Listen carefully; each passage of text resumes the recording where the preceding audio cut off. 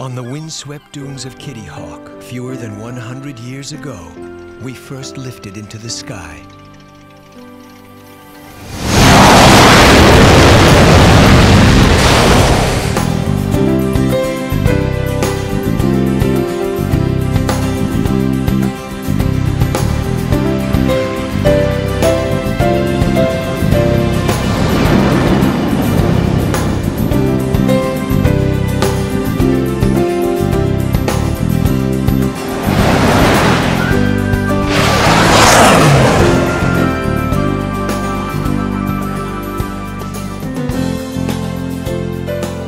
Forces that magically hold a plane in the sky?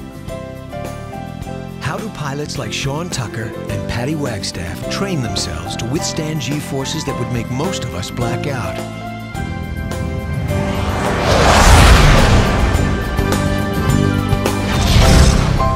The magic of flight, coming soon to this theater.